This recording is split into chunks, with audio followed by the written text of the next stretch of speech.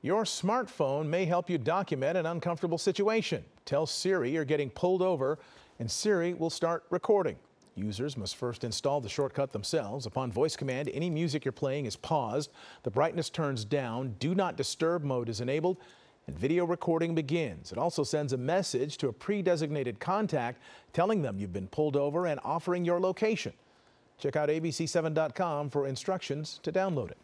Hello, I'm Mark Brown. Click the ABC7 logo to subscribe to our Eyewitness News YouTube channel.